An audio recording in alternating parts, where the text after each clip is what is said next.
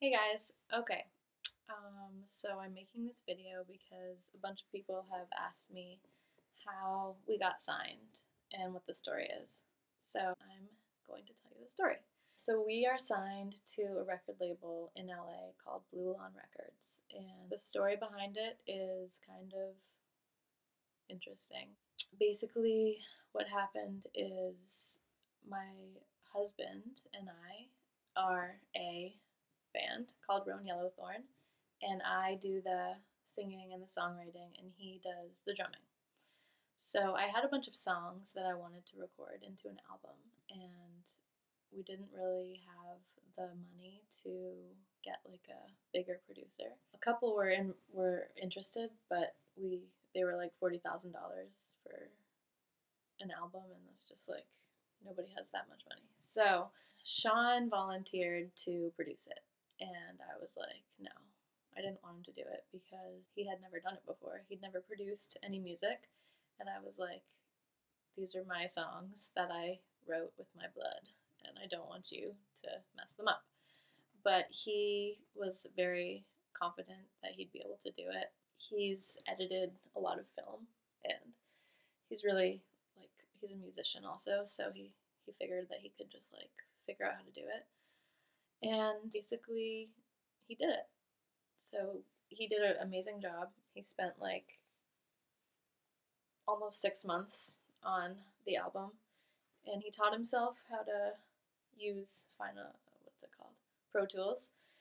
And then, um, since he was doing it, it meant that like I could have a lot of creative control because he was just in the house editing our music every single day and I could be like, hey, uh, I want to change this, I want to change this. And we went through like 500 rounds of changes for every song.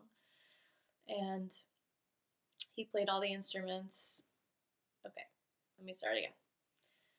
When we were ready to make the album, um, we made scratch tracks of every album in our house by ourselves. So he recorded my voice and then made rough versions of each instrument. He played each instrument on his own here in our living room. And then we took those files with us to a recording studio in upstate New York and like replicated those with better instruments in a professional setting. So we knew exactly what to do and it was like very quick. We spent two days on the I think we spent two days on the instruments and three days on the vocals, but it might have been three days on the instruments and two days on the vocals. Um, but my vocals, the harmonies, some of them were planned out, and a lot of them were just like on the spot, kind of like based on how I was feeling and Shawn's suggestions and stuff like that.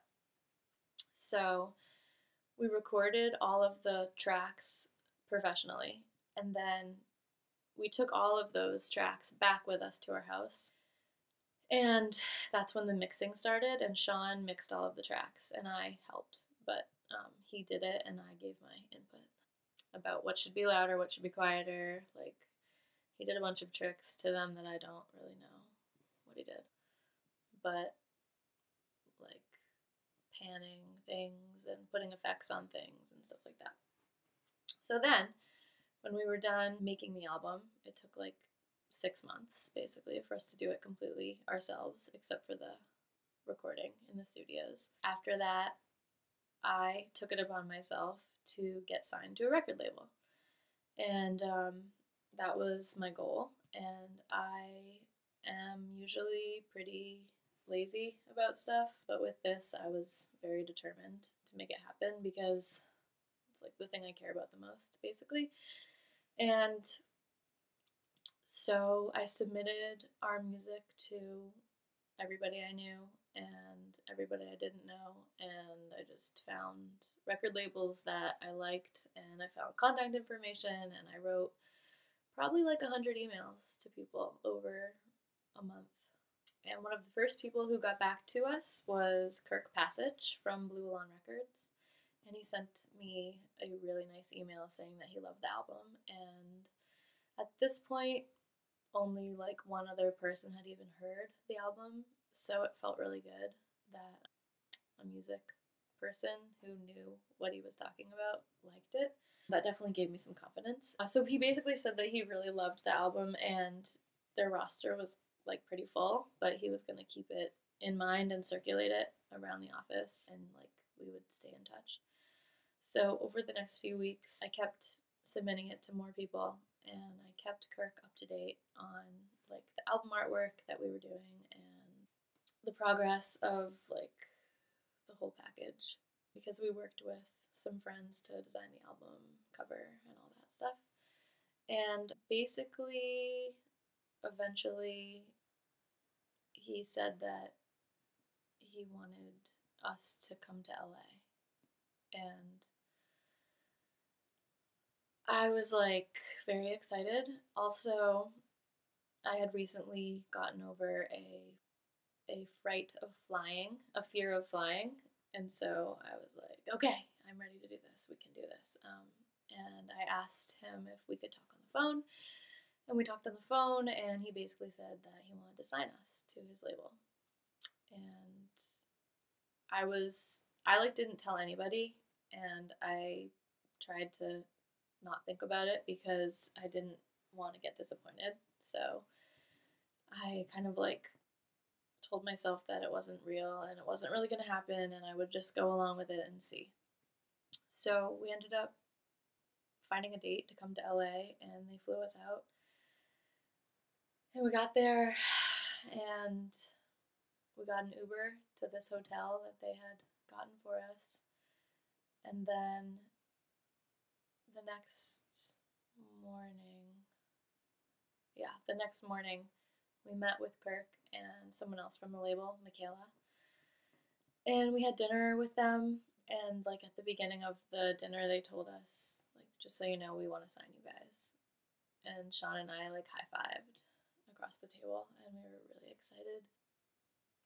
And we had an amazing time in LA. We spent two days there. We met a bunch of people. We went to the offices at the label, and then we came back.